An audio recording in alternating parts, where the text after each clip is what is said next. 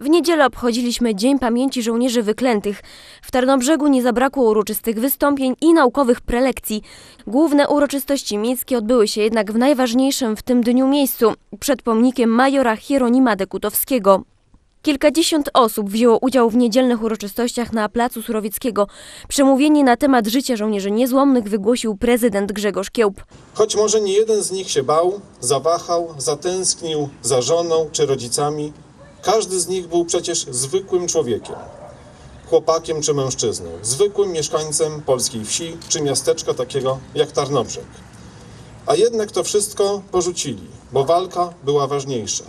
A raczej, bo właśnie tak wyobrażali sobie swoją przyszłość. Dobro rodziny, bliskich, swojego kraju. Nie bez przyczyny nazwano ich żołnierzami wyklętymi. Los obszedł się z nimi wyjątkowo okrutnie. Nie tylko za życia, ale także po śmierci nie mogą zaznać spokoju. Zamęczeni, zamordowani, za wiarę w swoją ojczyznę, w wolność i niezależność. Polegli w walce, wydawałoby się przegranej. I przez te lata ich bliscy myśleli, że poświęcili swoje życie na darmo. Przez lata nie mogli mówić o swoim cierpieniu i tęsknocie. Gorzej nawet, zamiast bohaterami ich mężów, ojców i braci nazywano zbrodniarzami i zdrajcami. Do niedawna nie mogli nawet na ich grobie zapalić świeczki. Ale doczekali się. Już nie tylko oni, ale także my, wszyscy wiemy, jak było naprawdę. W naszej świadomości to żołnierze niezłomni, honorowi. Każdy dziś, po tylu już latach od tragicznej śmierci, napawają nas otuchą. Ich postawa pozwala na nowo obudzić w sobie wiarę w człowieka. Daje nadzieję na lepszą przyszłość. Bo jeśli takich mamy bohaterów, to czyż nas samych nie drzemie jakaś niespożyta siła, duch walki, dobroć? Dziś stajemy tu przed popiersiem jednego z tych żołnierzy wyklętych i nazywamy go bohaterem. Oddajemy mu cześć i honor. Dziś możemy mówić otwarcie o jego poświęceniu. Dziś żyjemy w świecie, o jaki on walczył, wolnym. Może nie jest to rzeczywistość idealna.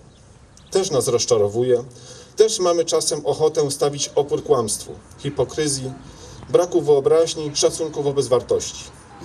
Ale jednak jest to nasza polska rzeczywistość, nasz polski Tarnobrzeg, miasto, które nie zapomina o swoich bohaterach.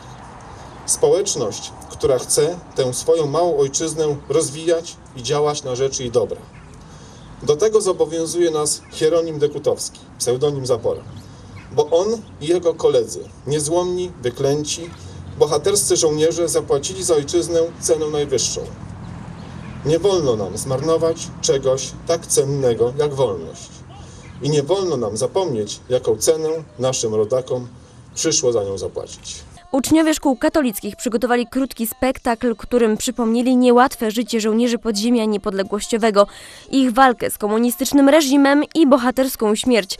Przedstawili też sylwetkę majora Hieronima Dekutowskiego, podkreślając, że dla wolnej Polski poświęcił całe młode życie. Uroczystości uświetnili swoją obecnością radni, władze miasta Tarnobrzega, środowiska kombatanckie, uczniowie klas mundurowych, przedstawiciele Strzelca, Klubu Gazety Polskiej i Forum PiS Młodych. Wszyscy ustawili się w długiej kolejce, by złożyć kwiaty przed pomnikiem majora i oddać mu hołd. Na sztandarach niesiono dokładnie takie hasła, jakie mieli na ustach żołnierze wyklęci: Bóg, honor, ojczyzna. Dzień Pamięci Żołnierzy Wyklętych zakończył wernisaż wystawy Legionowe Kadry. Fotografie pierwszego wojennego reportażysty i tarnobrzeżanina Tadeusza Pawlasa przedstawiają losy bohaterów Legionów, których walka o wolność i niepodległość przypomina tragiczne losy żołnierzy niezłomnych.